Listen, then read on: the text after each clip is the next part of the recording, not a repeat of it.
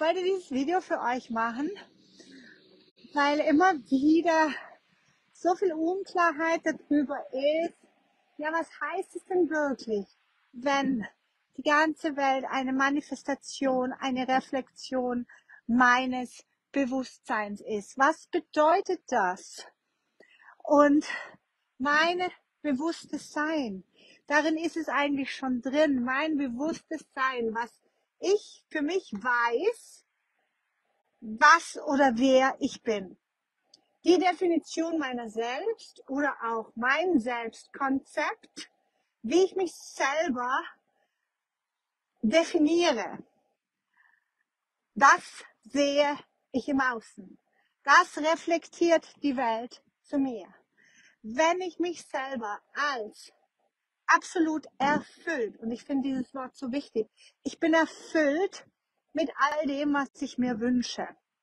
Wenn ich das für mich als wahr annehmen kann, wenn ich bewusst weiß, wo dieser erfüllte Zustand herkommt, dann ist es meine Wahrheit. Und da ist der nächste Punkt, was so wichtig ist. Ich muss bewusst wissen, ohne Zweifel wissen, was, wer, wie bin ich, wie wirke ich.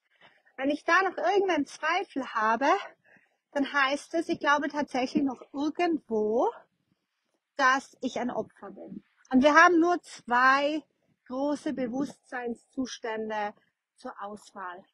Einerseits diesen menschlichen Design, Opfer, Ego-Design, Bewusstseinszustand wo ich immer noch glaube und denke, dass es eine manifestierte Welt gibt, in der ich mich bewege und an die ich mich anpassen muss. Dass es Umstände, äußere Umstände gibt, die sind in Stein gemeißelt. Und diese Welt hier ist in Stein gemeißelt und jeder, ich jetzt hier, ich bin in den Bergen und die äußersten Umstände sind fest wie ein Berg. Und ihr wisst ja, in der Bibel steht auch, Jesus sagte zu dem Berg, beweg dich. Und der Berg hat sich bewegt. Und jetzt kommt ein ganz, ganz wichtiger Aspekt rein. Wir glauben tatsächlich, dass die äußeren Umstände, wenn wir uns nach außen, jetzt verschwinde, gehe ich wieder zurück, wenn wir uns nach außen orientieren, wir glauben, dass sich äußere Umstände bewegen, dass sich Berge bewegen, wenn wir sagen, Berg bewegt dich. Und wir warten, bis der Berg sich bewegt. Und das ist eben diese Fehleinschätzung, diese Fehlwahrnehmung, dass ich in diesem Zustand hier stehe. Und ich drehe mal die Kamera, damit du es ein bisschen besser verstehst. Ich stehe hier vor diesem Berg, ja. Und ich stehe in diesem Zustand hier. Ich bin, ich bin die Patricia und ich möchte, dass sich dieser Berg bewegt. Und dann sage ich, Berg, beweg dich. Und der Berg ist immer noch da. Aber jetzt verändere ich meinen Seinszustand. Ja, jetzt verändere ich meinen Seinszustand. Ich bin jemand, ähm, ich nehme gar keinen Berg wahr, der mich stört. Ich brauche überhaupt keinen Berg wahrnehmen. Ähm, in meiner Realität gibt es diesen Berg überhaupt nicht. Und schon hat sich der Berg bewegt. Aber ich habe mich bewegt, ja? Ich drehe mich jetzt extra so hin, dass du das hinter mir siehst im Video. Da ist jetzt gerade hier in diesem Ausschnitt ist der Berg nicht mehr da. Der Berg hat sich bewegt. Nein, der Berg hat sich nicht bewegt. Ich habe mich bewegt. Ich habe mich in eine andere Realität bewegt, in der es keinen Berg gibt, der mich stört, in der es keine äußeren Umstände gibt, die mich stören, weil ich weiß, ich kreiere meine Realität. Das heißt, ich erwähle, ich wähle meine Realität aus von unendlich vielen Realitäten, die da sind. Und eine Realität, die sich mir anbietet, ist eben die Realität, wo dieser Berg da ist und dieser Berg mich stört. Und wenn ich aber weiß, wie das funktioniert, dass ich jede Realität anerkennen kann und sagen kann, ja klar gibt es eine Realität mit dem Berg drin, aber wenn ich diesen Berg nicht haben möchte in meiner Realität, dann gehe ich eben in eine Realität ohne diesen Berg. Und das ist ja nur dieses Beispiel, dass wir verstehen, dass es eben nicht darum geht, dass wir im Außen irgendetwas manipulieren, kontrollieren, irgendeinen Berg wegbewegen, sondern dass wir dadurch, dass wir unseren inneren Zustand verändern und bewegen in eine andere Realität. Wir wählen eine andere Realität, obwohl wir gleichzeitig sagen, es existiert eine Realität, wo dieser Berg ähm, da ist und der stört mich. Diese Realität gibt es, aber ich wähle eine Realität ohne einen Berg, der mich stört.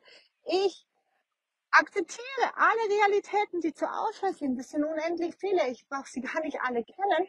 Aber, und ich kann entscheiden, ob es eine Realität gibt, in der ich einen Berg bewegen muss, das heißt ein Problem bewegen muss, oder ob ich eben in einer Realität mich befinde, in der kein Berg da ist. Ich habe keinen Berg in meiner Realität, ich habe keine Probleme in meiner Realität, weil mein Selbstkonzept eine Person, eine Persönlichkeit, ein Bewusstsein beschreibt, in der meine Wünsche erfüllt sind. Und entweder bin ich in der Lösung, wo meine Wünsche erfüllt sind und denke und fühle und sehe alles aus dieser Lösung heraus, oder ich bin eben in einer Problematik und habe diesen Berg als Problematik. Ich sage, der Berg, der stört mich, der nimmt mir die Sicht, der nimmt mir die Sonne. Oder ich drehe mich einfach um und drehe mich der Sonne entgegen. Und dann gibt es in meiner Realität eben gar keinen Berg mehr. Dann gibt es in meiner Realität kein Problem mehr, weil ich meinen Bewusstseinszustand verändert habe. Und das ist so eine schwierige Arbeit, ähm, die, die die meisten Menschen einfach nicht durchziehen, nicht lange genug durchziehen, sich lange nicht, nicht lange genug immer wieder klar machen. Ich bin diejenige Person, die einen Berg sieht, die einen Berg manifestiert. Ich interpretiere und übersetze äußere Umstände, anstatt dass ich tatsächlich immer wieder reingehe und sage, wer bin ich? Ich bin jemand ohne Probleme. Ich bin jemand mit Lösungen. Ich bin jemand, der geachtet, geliebt, unterstützt ist, einfach weil ich es festsetze, weil ich das sage. Ich lebe in der absoluten Fülle und Erfülltheit. Das ist mein Zuhause. Und alle Wünsche von mir sind da, weil sie schon erfüllt sind. Und das bedeutet, wer bin ich? Wie denke ich über mich, wenn ich keinen Mangel habe? Dann denke ich eben nicht, wieso hat dieser Mensch mich nicht gegrüßt, dann denke ich nicht, wieso hat er nicht, dieser Mensch nicht angerufen, dann denke ich nicht, wieso habe ich das und das jetzt nicht.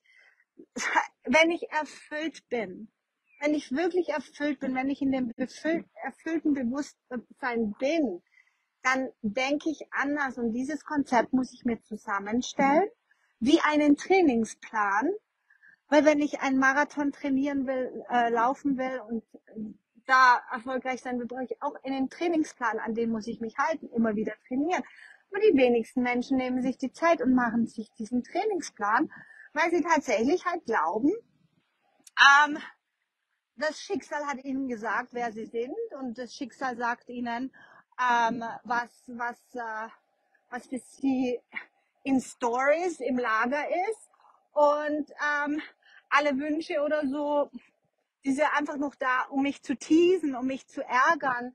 Wünsche kommen nur auf, um mich zu frustrieren. Wünsche sind nur da, um mich zu enttäuschen und mir zu sagen immer wieder, ja, du kannst es ja nicht haben, du kannst es ja nicht erleben und so weiter und so fort.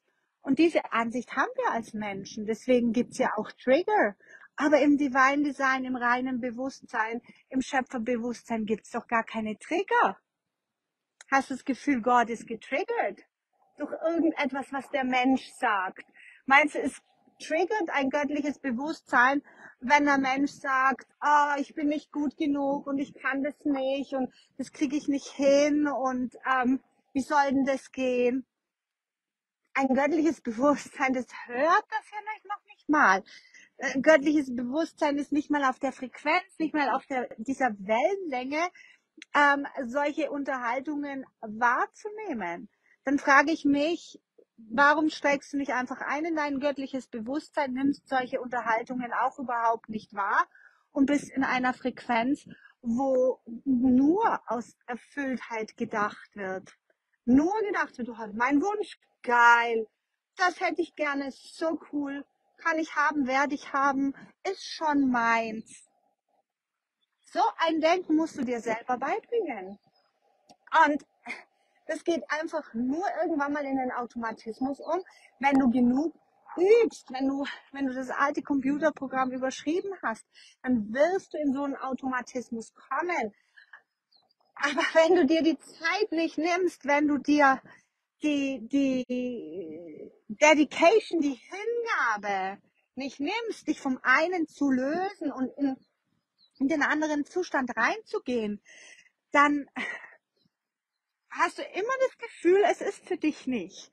Dann hast du immer das Gefühl, die anderen können es, aber du kannst es nicht. Aber der einzige Unterschied ist zwischen dir und denen, wo du glaubst, dass sie das machen können oder dass sie schon tun können, ist der Unterschied, dass sie sich nicht aufhalten lassen.